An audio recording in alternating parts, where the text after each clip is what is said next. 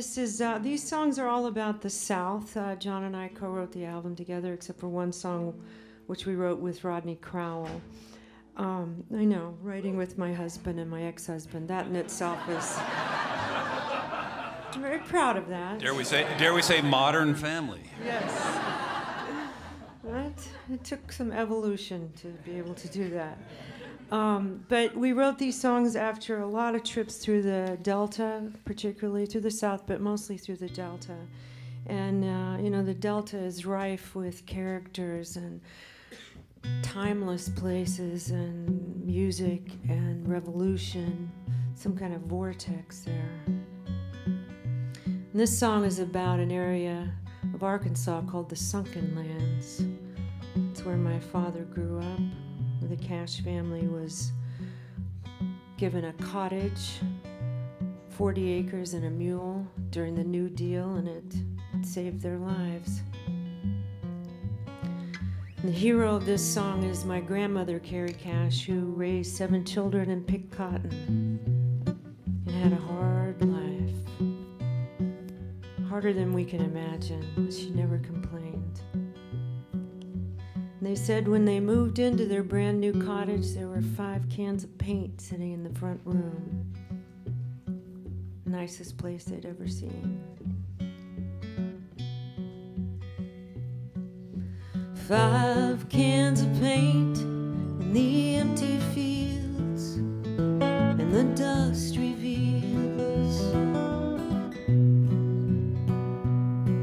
the children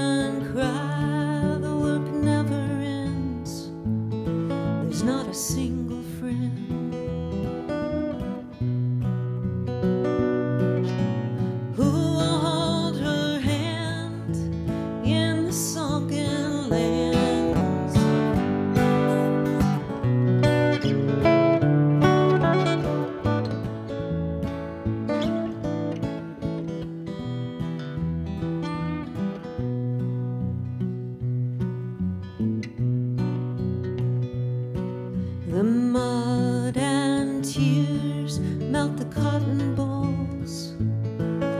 It's a heavy toll.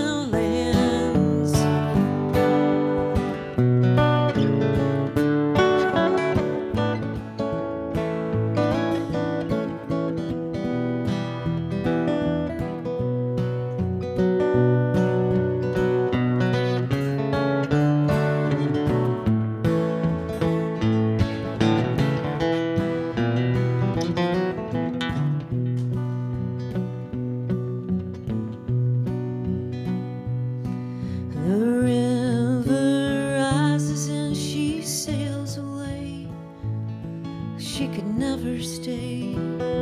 Oh, her work is done in those sunken lands. There's five empty cans.